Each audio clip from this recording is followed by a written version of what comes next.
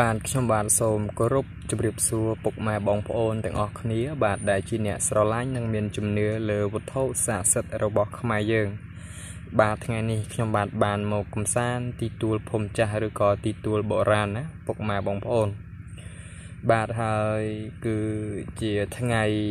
សិល15កើតពេញបរមីខ្ញុំបាទបានមានសំណែបន្តិចបន្តួចយកមក សែនមកថ្វាយជូនដល់ទូស្បមីទូអង្គដែលថាថែរក្សានៅនឹងទីទួលភូមិចាស់ឬក៏ទីទួលបុរាណឬក៏ទូស្បមីទូអង្គញៀនដែលថាថែរក្សានៅនឹងវត្ថុស័ក្តិសិទ្ធិទាំងឡាយក្តីបាទហើយខ្ញុំបាទបានដើរកំសាន្តបានដើរទៅដើរមកក៏បានមានឧបនិស្ស័យបានជួបនឹងវត្ថុពិសេសបាទបាទនេះគឺជាចង្គោមខ្លាពុកម៉ែបងប្អូន បាទនេះគឺស្អាតមែនតើបាទគឺគ្មានស្នាមបាក់ស្នាមបែកចំណុចណាទេបាទនេះហើយគឺជាប្រភេទចង្គោមប្រហោងបាទចង្គោមប្រហោងបាទនេះគឺតូចមែនតើពុកម៉ែបងប្អូនប៉ិនធូកបាទប៉ិនធូកបាទនេះគឺមានបង្ហូតឈាមបាទញាក់សាច់តែម្ដងបាទ ហើយខ្ញុំបានសូមបញ្ជាក់ពុកម៉ែបងប្អូនអចង្គោមខ្លានេះដែរគឺខ្ញុំបាទមិនច្បាស់ថាជាចង្គោមខ្លាធំឬក៏ខ្លាលខិនទេ បាទដោយសារតែគាត់មានរូបសន្តានលក្ខណៈតូចបាទតូចអញ្ចឹងគឺពិបាកប៉ាន់ស្មានបាទពិបាកមើលបាទនេះគឺស្អាតមែនតើ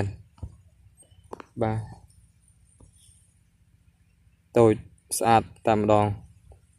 ស្អាតណាស់បាទគឺខ្ញុំបាទបានមានឧបនិស្ស័យជួបគាត់នៅ លើគោកតែម្ដងបាទណាបាទគឺខ្ញុំបាទដើរមកដល់ចំណុចហ្នឹងក៏ដាក់ភ្នែកទៅក៏ឃើញគាត់នៅកណ្ដាលវាលតែម្ដងបាទហើយនៅមានវត្ថុ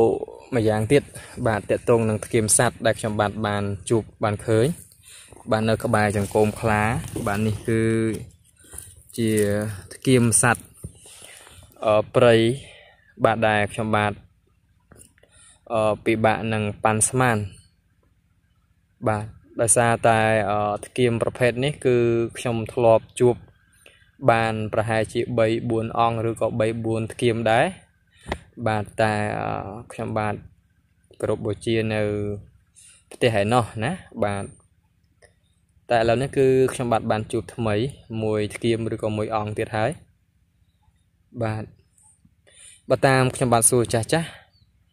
គាត់បានប្រាប់ថាជានាងពូនធ្គាមឬក៏អឺជាធ្គាមសัตว์ក្តាន់ញែងបាទធ្គាមសัตว์ក្តាន់ញែងបាទណាគឺមានរូបសន្តានលក្ខណៈបែបនេះហើយយ៉ាងណាមិញក៏ខ្ញុំបាន មិនសូវជាច្បាស់100%ដែរពុកម៉ែបងប្អូនគ្រាន់តែសួរចាស់ចាស់